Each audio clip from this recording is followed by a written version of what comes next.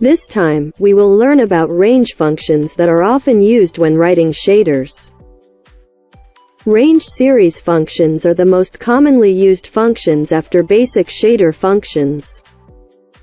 Like the last video, this tutorial also includes the concepts and principles of each function in its explanation.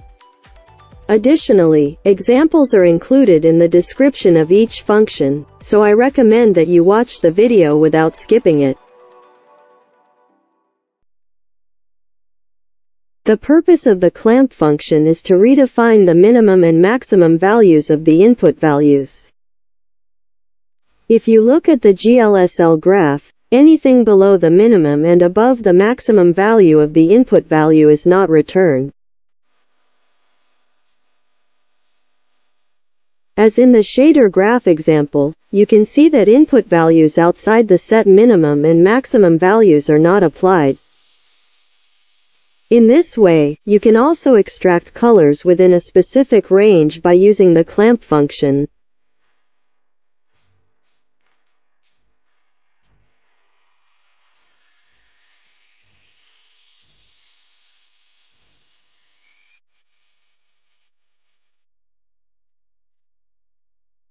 This process is almost similar to smooth step, but more detailed control is possible through the clamp function.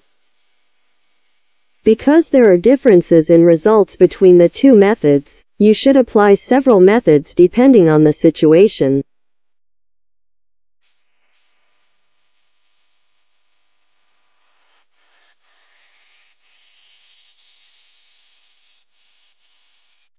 Fraction may be similar to division, but they have slightly different meanings. In mathematics, fraction is expressed as follows. At first glance, it may seem like you need to do division, but if you leave it like this, it becomes a fraction. If you don't understand, let's take a cake made out of a cylinder as an example. If you divide this cake into four pieces and take one piece, this piece becomes one quarter of the entire cake. Then, the ratio of the remaining cake is three quarters. The fraction used in the shader is used to remove integers from input values and extract only decimal values.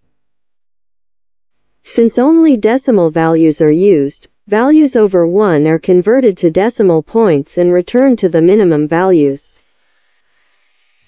This can be used to create fun looping effects.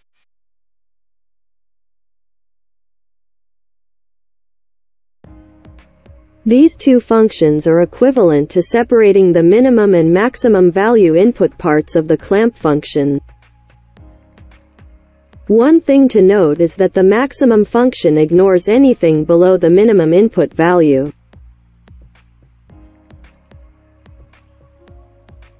Then, the minimum function does not return more than the maximum value of the input value.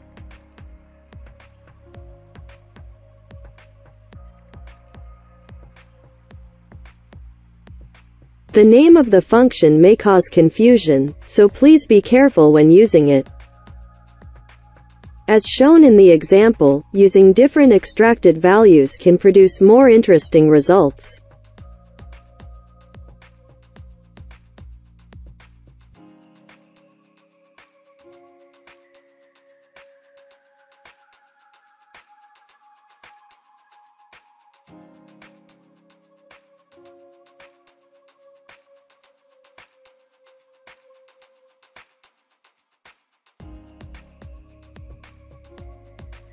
This function subtracts all input values from 1.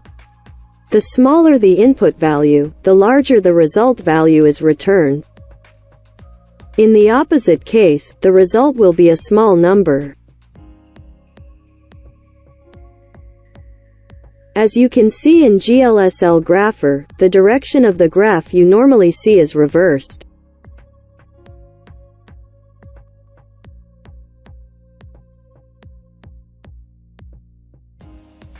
If you apply this to a color, the input color will return an inverted result.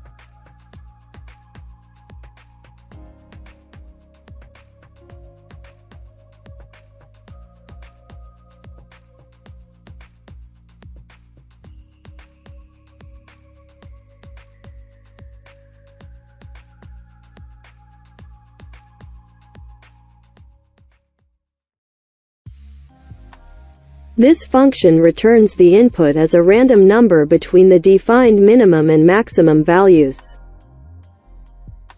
The default seed item for input is the vector2 variable, but in most cases, it is sufficient to apply only the vector1 variable.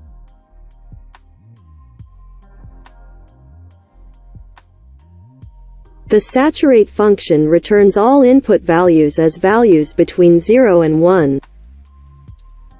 Values below 0 become 0, and values above 1 become 1. A size of color or brightness below 0 or above 1 is unnecessary. Therefore, this function is useful when modifying the shading of objects with custom lighting applied. Additionally, in addition to limiting the input value to between 0 and 1, it can solve problems caused by negative input values.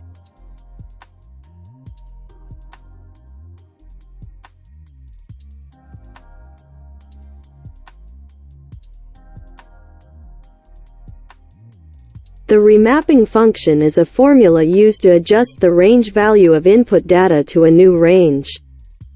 For example, an input value of 0.2 between minus 1 and 1 is modified to 0.6 between 0 and 1. The formula to find this is as follows. Let's explore the functionality of this function with the simple noise node. If you change the minimum value of the input range to zero, you can confirm that the noise has reached its default state.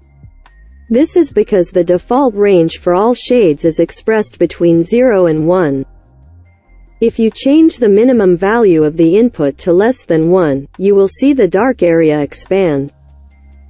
This is because the entered value changes as it is readjusted to fit the range. The contrast of simple noise can be increased due to the difference between the input value range and the output value range.